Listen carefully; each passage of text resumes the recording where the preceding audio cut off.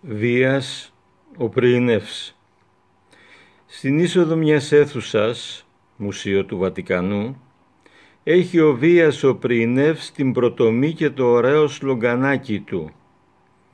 Οι πλήστοι άνθρωποι κακοί. Ε, γι' αυτό δεν πιάνουν σοσιαλισμοί στον κόσμο, κούνησε το κεφάλι ο πατέρας μου. Είδαμε εκθέματα απίστευτα, όμως ο νους του γύριζε εκεί. Ο Βίας, ένας από τους επτά σοφούς μου είπες, ποιον από τους άλλους έξι απασχόλησε το θέμα; Γιατί ρωτάς πατέρα; Διότι το σκέφτηκα. Αν δεν πιστεύανε τα λόγια του Πρινέα οι έξι, εγώ με αυτούς θα πάω τα Σάββατα. Τα Σάββατα ονειρεύομαι όνειρα μακρινά με χαμένα τοπία της εφηβείας.